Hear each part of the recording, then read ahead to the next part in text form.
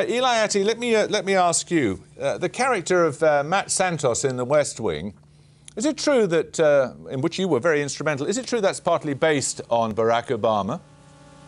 Yes, absolutely. Uh, the, the idea for the character was not inspired by Barack Obama, but when, when the West Wing writers decided to introduce a Latino candidate for president, um, I had to write a couple big episodes um, introducing the character, and there really was no precedent. There was no um, a minority figure who had ever been a, a prominent, uh, you know, likely nominee of his party, and the only thing to really look to at that time was uh, uh, then State Senator Obama, who was just running for the United States Senate and had just given a, an electrifying speech at the Democratic National Convention. So I talked to his chief strategist, David Axelrod, and began to kind of shape the character, sort of a post-racial figure who wanted to, you know, really move beyond old categories and divisions.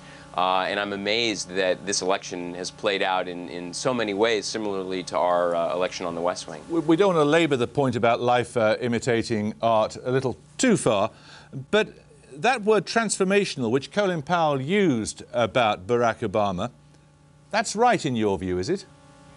Absolutely. I mean, I think and this is interesting, I think, in terms of international perception of President-elect Obama, which is that he is is not just multiracial. I think he is genuinely post-racial. He's somebody who comes from such a mixed background um, and and really belongs to no strict category.